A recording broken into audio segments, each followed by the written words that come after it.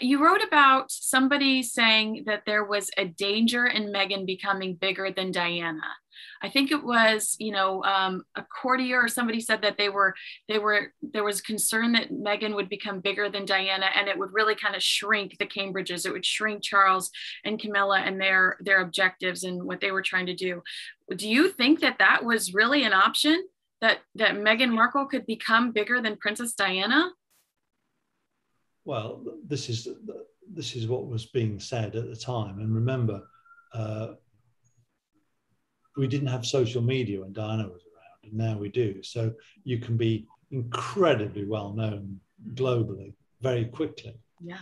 Um, and uh, I think that what happens is that in the royal family, it's all about position, not popularity. Now, let's just let me take you back to the 1960s when Princess Margaret married Lord Snowdon, a, photographer. And they were the most popular people on the planet, uh, alongside Elizabeth Taylor and Richard Burton.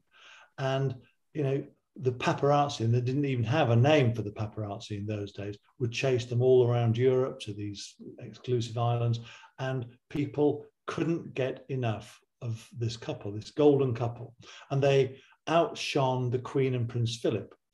But that that kind of that balloon eventually sinks and you're back to the position and margaret always you know, acknowledged the fact that she was the, the, the the number two and it was always the queen who was the number one and there is a similarity between meghan and harry and um, catherine and william in the sense that um, meghan and harry were enormously popular uh, when they did that first tour of Australia.